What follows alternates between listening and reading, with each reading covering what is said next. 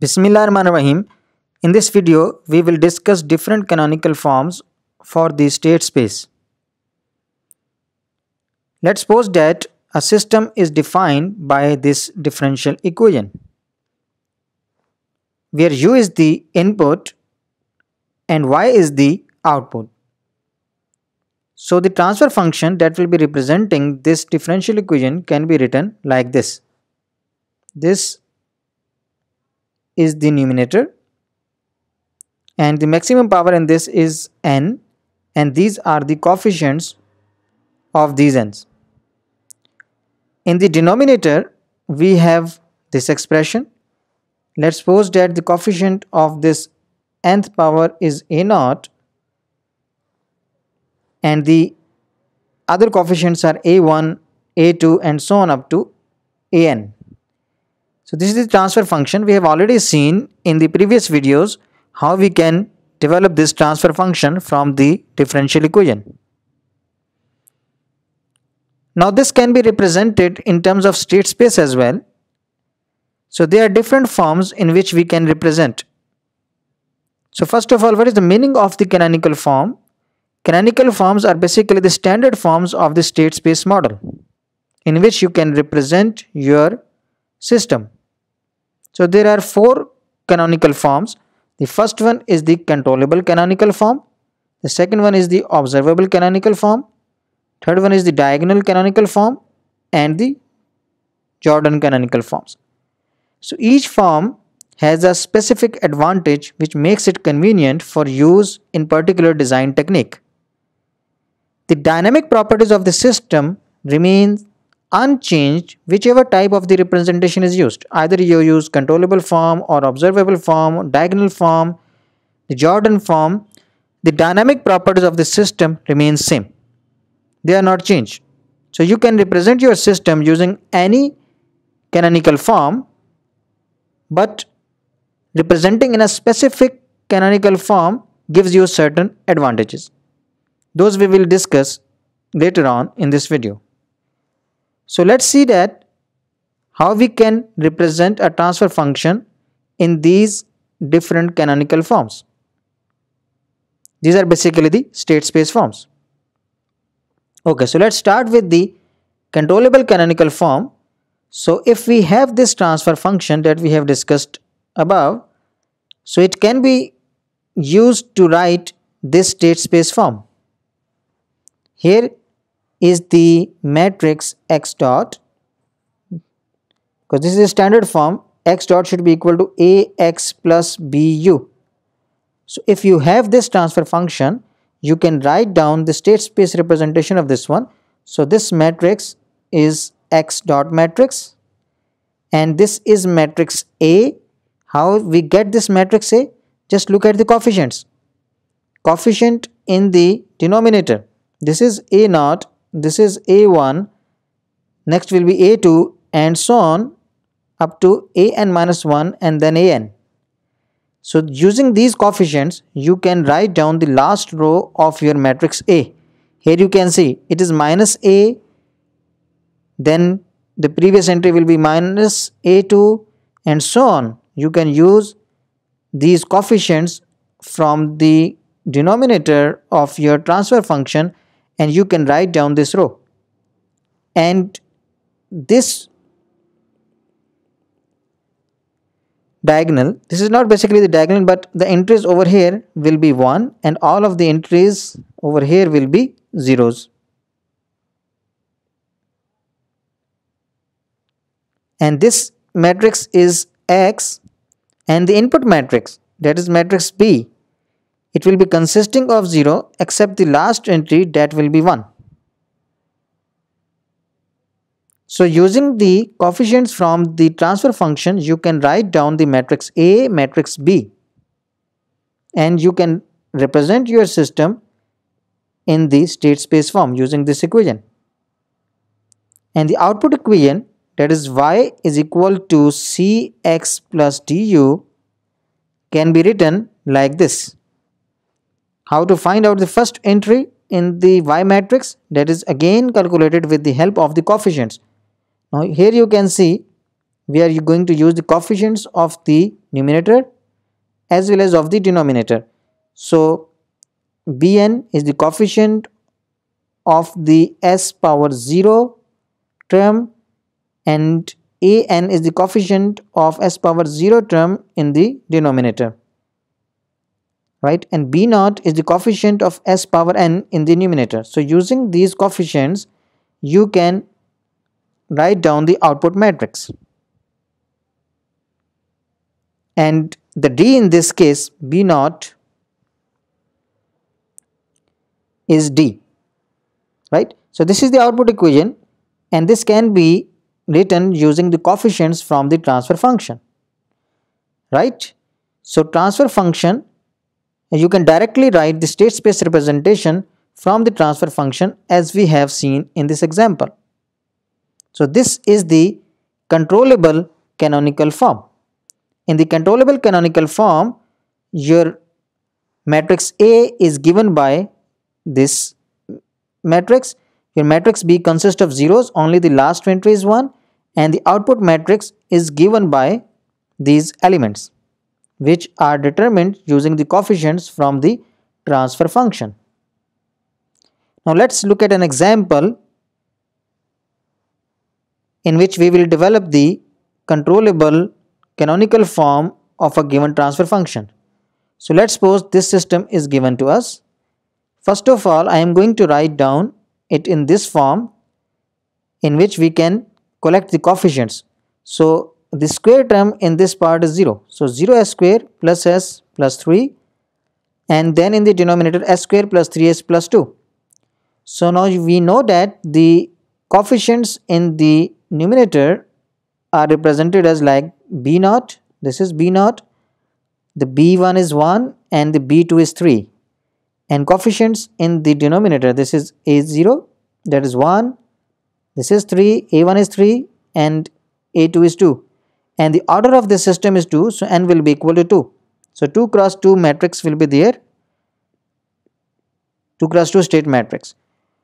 Okay now uh, as we have seen above that um, these coefficients this one minus 2 and minus 3 these will be used as a as the last row of your matrix A and the other rows will be starting from 0 and there will be the one entries on those ones. So just look at this part right? Because we have only first row and um, this one.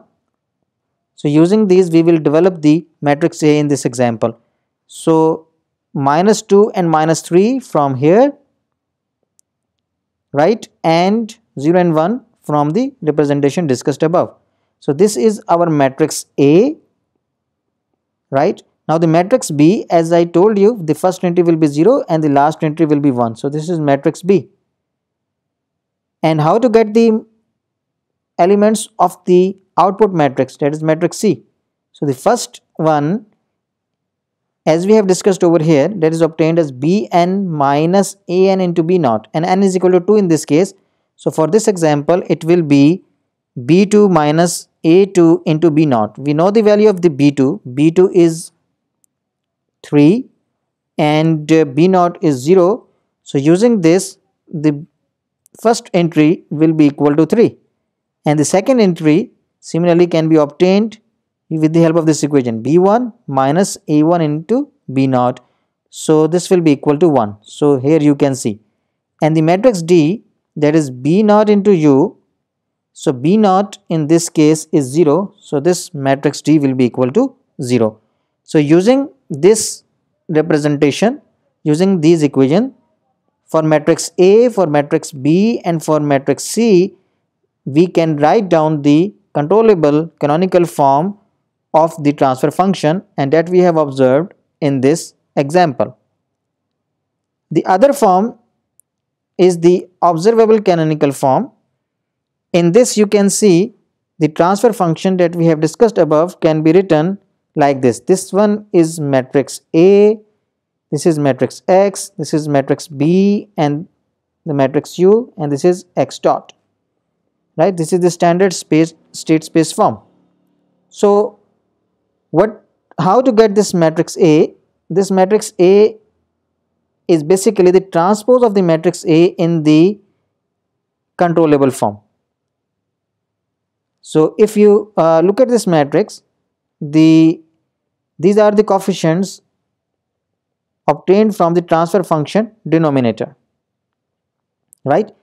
And the output matrix in the controllable form, that is this one, has now become the input matrix,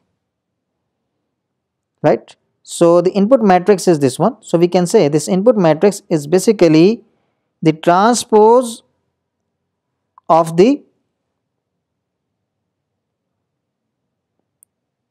output matrix in the controllable form.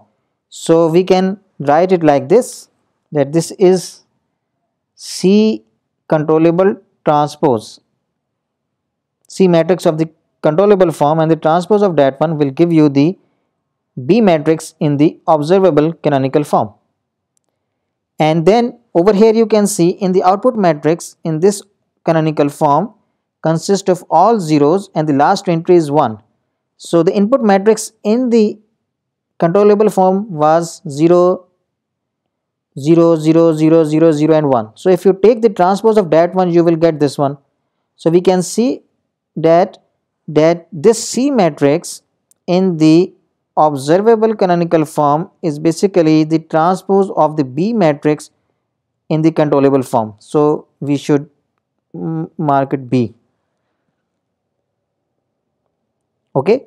So how to get matrix A? If you take the transpose of the matrix A of the controllable form, you will get the matrix A of the observable form. The transpose of the matrix C in the controllable form will give you the input matrix in observable form and this matrix the output matrix in the observable form is the transpose of the input matrix of the controllable form right? So now over here you can see you can directly observe one particular output. That's why we are going to call it the observable form right? While in the controllable form if you go and look at this representation so over here only one input one state variable is directly linked with the input okay now let's look at an example in which we will develop the observable canonical form we are going to use the same example as we have taken before but now we will write it in the observable form so this was the transfer function. Now writing it like this, we can extract B0, B1, B2, all of these coefficients and n is equal to 2. But now how to write down this matrix A? This matrix A is basically now you can see negative of this, negative of this, minus 2, this one, negative of this, minus 2, negative of this, minus 3 and 0 and 1 over here. And then how to get the matrix B? This matrix B here you can see this input matrix will be equal to B2 minus A2 into B0 and that will be equal to 3 and next entry will be 1 this is basically the transpose of the matrix C in the controllable form. And then the output matrix that will be 0 and 1 and the input matrix will be 0 because uh, sorry this D matrix will be 0 because B naught is equal to 0 and this is equal to B naught. Right? Okay now let's look at the other form that is the diagonal canonical form. So if you have this transfer function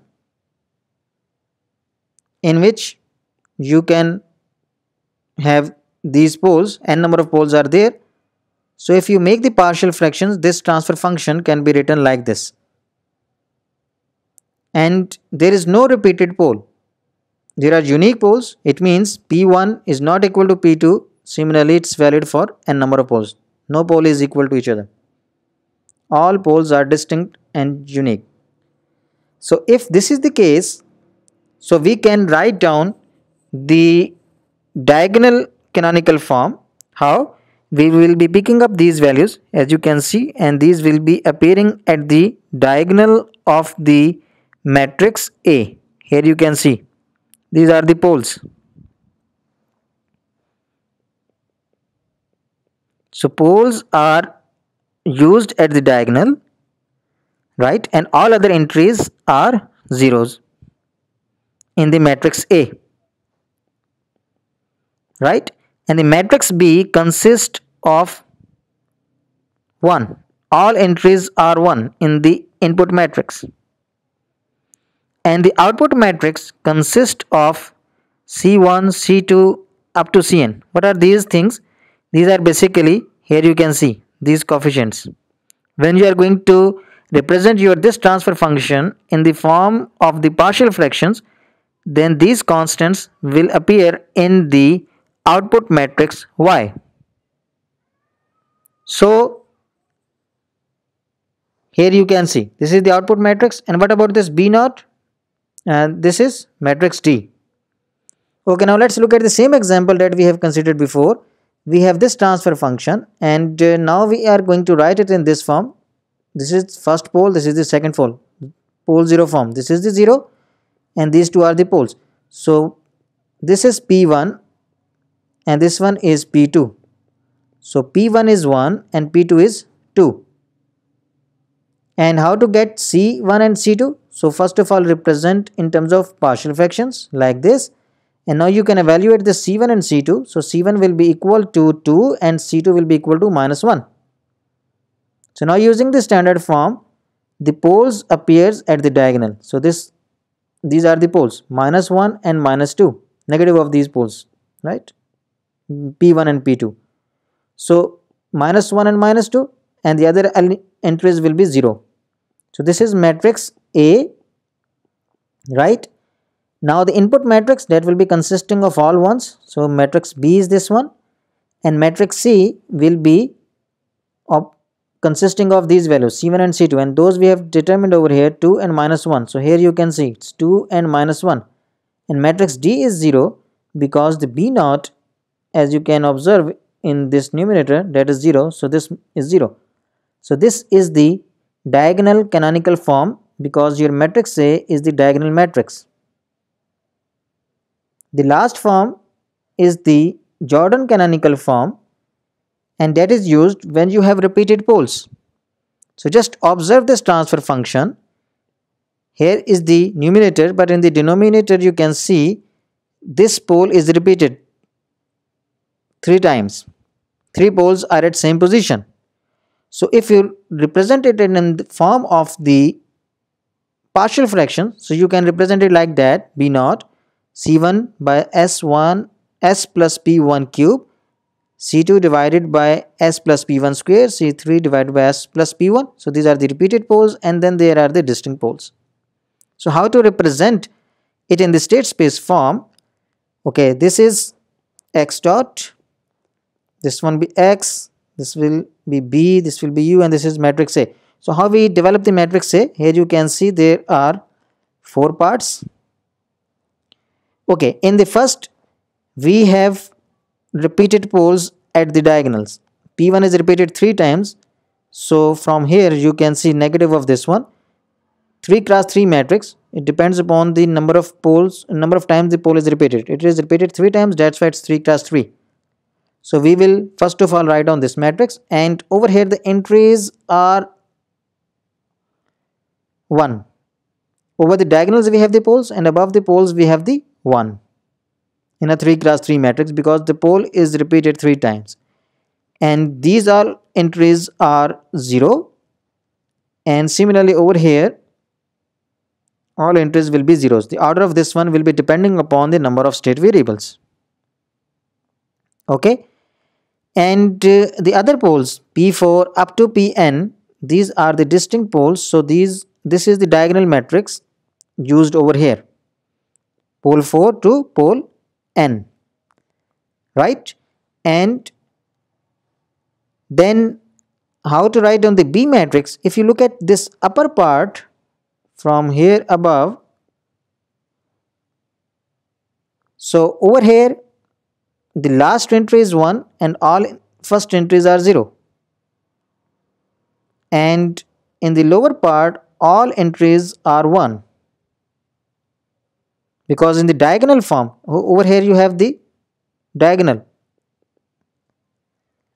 And in the diagonal the input matrix is 1 here you can see all entries are 1 so that's why in the Jordan form which we are writing for the repeated poles this part will be this part will be consisting of all ones and over here it will be 0 0 and 1 okay so this is equation x dot that is equal to ax plus bu now the output equation. Output equation will be consisting of these coefficients which are obtained from the partial fraction and the b naught is equal to matrix D. So this is c1 c2 c3 c4 these are the coefficients of these terms which we obtained from the partial fraction. Right? Okay now what are the eigenvalues of a matrix so eigenvalues of n cross n matrix are the roots of the characteristic equation and the characteristic equation is obtained like that lambda into i minus a a is the given matrix i is the identity matrix if you take the determinant of that one and set equal to 0 this gives you the characteristic equation. The roots of this characteristic equation are also called the characteristic roots. And these are basically the closed loop poles of your system. Right? So now let's look at an example at how we can find out the eigenvalue. Let's suppose the matrix A is this one. So first of all, we will be finding out lambda i minus A so that you can see over here the i minus a will give you this matrix and we are going to find out the determinant of this one so if we find out the determinant that will be given by this equation. So now we will be setting this equation equal to 0 so if you set it equal to 0 so you will get this equation. That is lambda plus 1 lambda plus 2 lambda plus 3 the product of these is equal to 0 so from here, lambda will be equal to minus 1, minus 2 and minus 3. So these are the roots or the eigenvalues of this matrix. So these will be the closed loop pole of your system whose state matrix is this one given by this matrix. So if I summarize this video, we have observed that we can write a transfer function in four standard forms, canonical forms. One is the controllable form, the other one was the observable form, the diagonal form and the Jordan canonical form. So we can represent our system in any one of these. No change will be there in the dynamic properties. Only you can see that we can have, uh, we can observe the outputs and uh, in a different way. For example, if I go back to the um, this form observable form here you can directly observe one particular output right and in the controllable form you can control the output with the help of all the state variables so output on output you can observe all these state variables with a certain weight and that is this weight bn minus an into b naught so after this, we have observed the eigenvalues of a matrix. So that's all from this video. Thank you very much.